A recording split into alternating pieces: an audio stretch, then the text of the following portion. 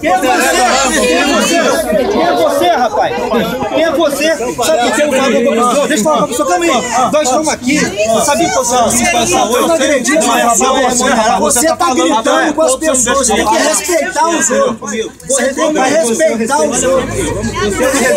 Você. Você é um pilantra. Você é um pilantra. Olha a educação! Você é um grosso! Sem educação! Sem educação!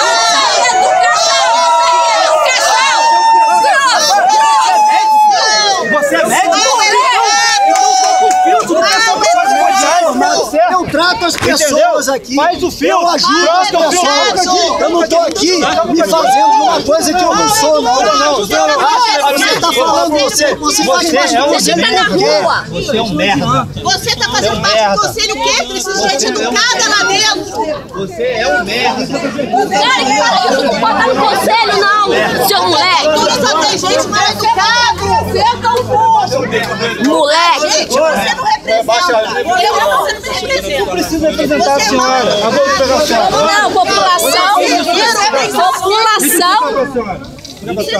A senhora viu no jornal que o Beda, que é a terceira via, imputou a mim crime de corrupção. Mas o senhor, leve me desculpa, me dá licença, mas A o senhor tem senhora que viu? ter educação para falar Mas olha só, pessoas. as pessoas podem imputar crime a mim, a senhora exige minha educação. Ninguém saiu aqui de falta de Educação? o senhor tá saindo. A senhora acha O senhor xingou mesmo? um médico de senhora- moleque. Mas é? Que Ele não é isso? médico, não. Quem é o senhor pra julgar os É outros? médico sim, vai procurar no A senhora está falando de oncologia, não está? Eu de tô oncologia. falando no não, não, não, todo. não, não, não. Está falando de oncologia. Não entra aqui não. Nós estamos falando de oncologia. Existem outros serviços também que o Beda presta.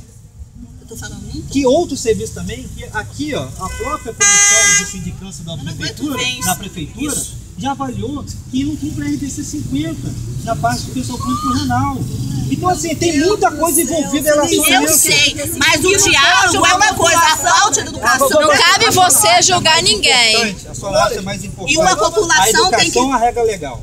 Mas é a população de Campos? Ela não vai ficar desassistida. Ah, não. Não, vai pra onde? Eles serão contratados. Ninguém terminou o processo, você não Vai pra acabou. onde? É pro, pra O ouvir? processo não acabou. Beneficência pra onde? O processo não acabou. Você acha que isso não afeta emocionalmente os pacientes, não? Você acha que eles não ligam todo dia pra saber dos pacientes, não? Entenda, entenda. É